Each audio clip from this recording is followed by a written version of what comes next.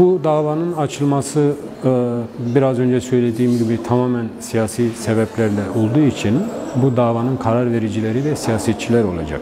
Mahkemeler olmayacak. Yani bu davanın bu davada kimin tutuklanacağı, ne kadar tutuklanacağı, tutuklu kalacağı, ne kadar ceza alacağı, bütün bu süreçlerin tamamı e, siyasiler tarafından, Türkiye siyasetçiliği yani şu anki rejim tarafından e, karara bağlanacak. Çünkü bu dava öyle bir dava. Yani bu biraz önce bu bir suç ve ceza davası değil. İktidar eğer Sayın Kışanak'ın şu an için tahliye edilmemesi gerektiğini düşünüyorsa, bu rejim fikri buysa mahkemeler sadece ve sadece buna bir kılıf bulmakla görevli ve şu anda karşı, karşı karşıya olduğumuz tabloda tam bu.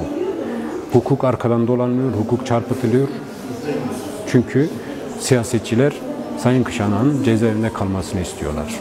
Mahkemeye düşen tek görev buna ilişkin keyfi hukuki olup olmadığına bakmaksızın bir gerekçe bulmaktır.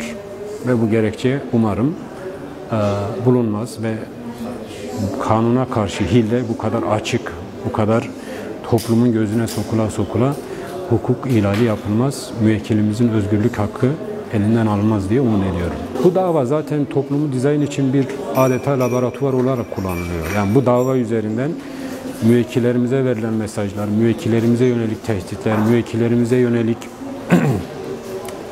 kişilik haklarını rencide eden tavır ve davranışlar aslında iki yönlü olarak hem top, muhalif kesime hem de Türkiye yargısının dizaynın bir aracı olarak kullanılıyor.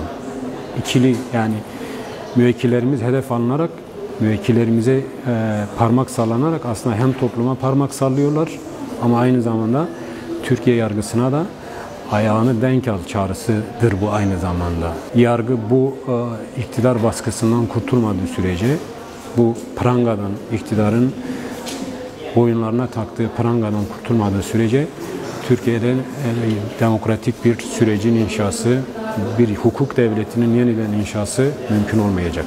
Bu sadece Gülten Kışanak meselesi değil. Türkiye halklarını, Türkiye demokrasisini hizaya getirme, daha doğrusu Türkiye'deki e, muhalefeti hizaya getirme davası. Bugün Sayın Kışan'a yapılır, yarın başkasına yapılır. Zaten Türkiye'nin temel sorunlarından birisi de bu. Muhalefet e, sorunları ortaklaştıramıyor, tepkiyi ortaklaştıramıyor. Dolayısıyla iktidara çok geniş bir alan bırakıyor. İktidar da bu alanı istediği şekilde keyfi ve hukuksuz bir şekilde dolduruyor.